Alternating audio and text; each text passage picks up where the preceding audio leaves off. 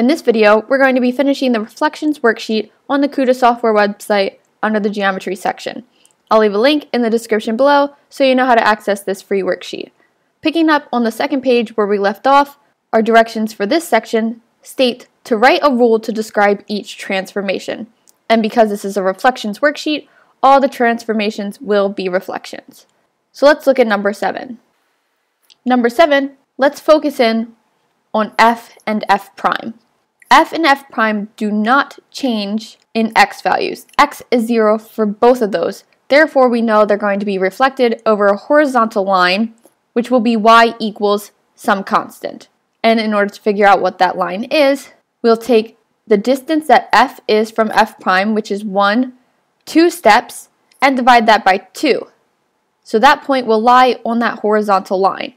So now that I know where that point is, I'll draw my line and that's the y equals 2 line. So number 7, we have a reflection across y equals positive 2. And let's double check. k prime is 1, 2, 3 above the line, and k is 1, 2, 3 below the y equals 2 line. And I'll check one more point j is 1 above the y equals 2 line, and j prime is 1 below. So we have a reflection across y equals 2 in number 7.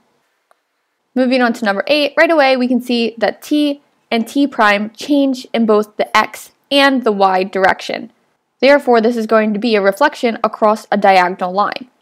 And this line is easy to figure out because when point V is reflected, V prime is that same location. Same with D. When D is reflected, D prime is that same location. So we know that those will fall on the reflected line. So it's easy enough just to connect those two points. And we can see that connecting those make the y equals negative x line. When x is negative 5, y is positive 5. When x is negative 2, y is positive 2 and so on. When x is positive 5, y is negative 5. So the reflection in number 9 is a reflection across y equals negative x. Moving on to number 9, let's look at the two closest points, r and r prime. r and r prime do not change in the horizontal direction, so they do not change x values, however they do change in the vertical direction. So they're going to be reflected over a horizontal line in order to change in that direction. So looking at r and r prime, two units separate them, so they will be reflected across that center point, which is one unit away from each, which lies on the x-axis, which we can also think of as the y equals 0 line. So if we were to draw that, and then double check, w prime is 1, 2 above the x-axis, and w is 2 below the x-axis. And let's pick one more point to double check. A is 1, 2, 3, 4, 5 units below, so A prime is 1, 2, 3, 4, 5 units above. So number 9, we have a reflection, a reflection across the x-axis. And that's the horizontal line where y is equal to 0. And number 10, looking at P prime and P, they do not change in the vertical directions, but they change in the horizontal direction, which means that they will be reflected over a vertical line. We just have to figure out what that vertical line is.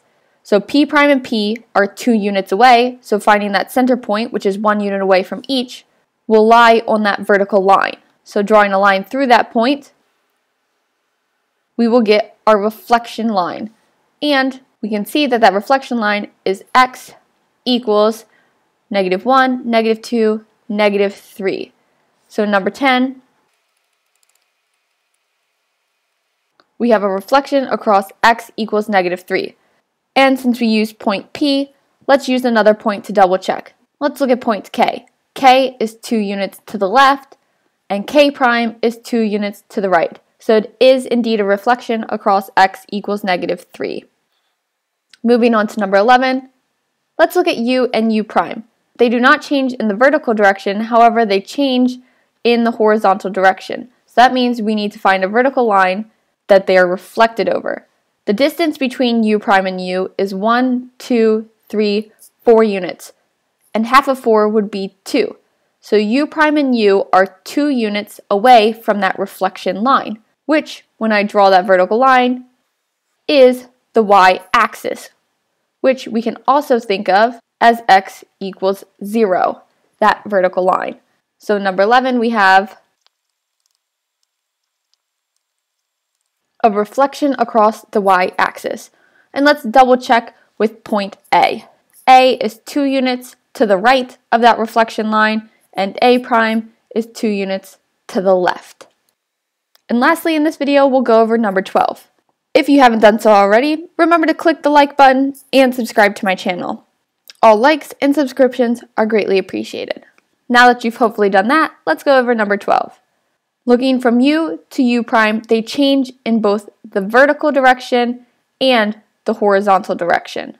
So we're going to need to find a midway point between the two. So let's draw a straight line from u to u prime, and that reflection line will be perpendicular and the same distance away from each. Note that if this is one unit by one unit, each of the squares, then going diagonally through a square will be the square root of 2 because of the Pythagorean theorem.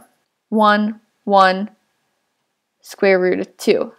And you can see that u prime is also 1, 1, and the square root of 2 away from this point. So our line will run through that and be perpendicular to the line we drew connecting u and u prime.